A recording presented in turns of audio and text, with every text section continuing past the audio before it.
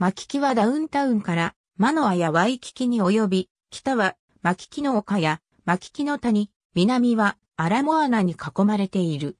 マキキはアメリカ合衆国ハワイ州ホノルルにある地域でダウンタウンの北東に位置する。その領域は東西にプナホー通りからペンサコラ通りまで、北はタンタラスの丘を走るラウンドトップドライブ、マキキハイツドライブから南にはルナリロハイウェイ周辺まで及ぶ。地下山であるパンチボールクレーターやタンタラスの丘からはマキキを一望することができる。当地域は主に古い家屋やアパート、脇道などで構成されている。大きな通りとしては、プナホー通り、ペンサコラ通り、ピーコイ通り、ネホア通り、ワイルダー通りがある。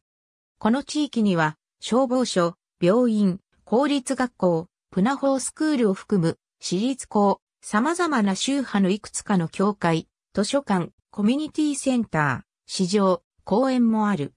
谷山には、州が所有する紅葉の登山道があり、そのほとんどは整備されていない。環境保護 NPO であるハイネイチャーセンターが小さな不動産を所有しており、地元の生徒に環境保護教育や働く機会を提供するために利用している。フイ、オマキキとフレンズ・オブ・マキキの二つの組織は、マキキ地域の教育、文化、レクレーション、社会サービスについての情報やイベントカレンダーを地域に提供するために共に活動している。プナホースクールは宣教師の指定を教育するために1842年7月11日に開設された。開設にあたって当地者簿記からカプナホー泉近くの200エーカーの土地が供与された。巻きにはドールストリート近くに佐藤王、クラウス・スプレッケルスのビクトリア朝様式の豪邸もある。この建物は後に改装され、セントルイス同創生会館となった。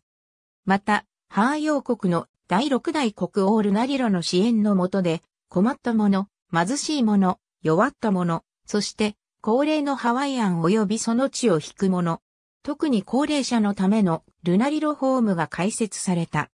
そして、ベルタニア通りとプナホー通り沿いにセントラルユニオン協会が1922年12月2日に着工し、1924年に完成した。この場所は以前、リリンガム家に属した土地であった。ありがとうございます。